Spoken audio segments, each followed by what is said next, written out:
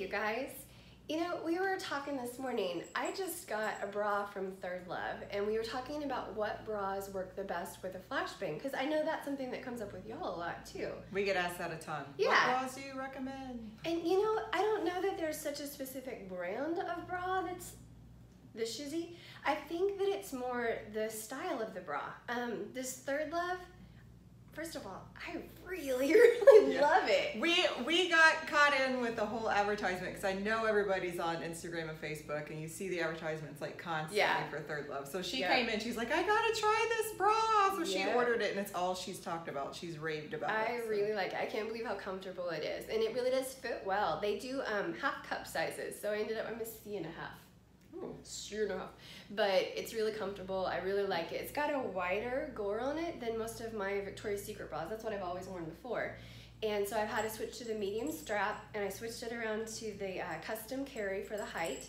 And I'm, I'm just a huge fan. I really like it.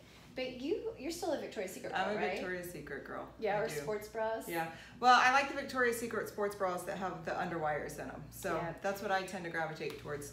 Um, I also I like Under Armour sports bras, but they don't give enough support.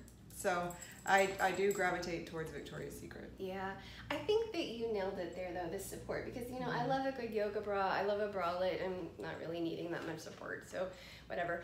But, uh, but I like those lighter weight bras, and I found that whenever I have on a really lightweight or really stretchy bra, or one that doesn't have like a good, the band, I guess, is the big thing. We call them yoga bras. We're not Yeah. quite sure what they're called, but you guys know what we're talking about. Yeah, the cute little just, like, bralettes that people stretchy, wear. They yeah. look really cute, but they're not very supportive at all. And the, the most important thing when you're wearing a flashbang is to have good support with a bra. I know you guys can see Pepper back here. yeah, She wants to be. Oh, Oh, ran off. she's I gonna pick her up, but Pepper's shy.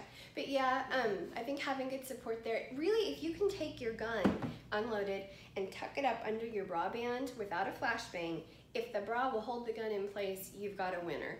But um, if it won't hold it in place, it's definitely not going to hold it with the flashbang involved either. So just think about that. So if, if you're asking about what type of bra, front closure totally works. yeah, we get Uh, asked that a lot. Racer back works, strapless even works as long as it's supportive enough, but support is the key issue there. So make sure that you don't have a really lightweight yoga or bralette and end up with not enough support for your gun.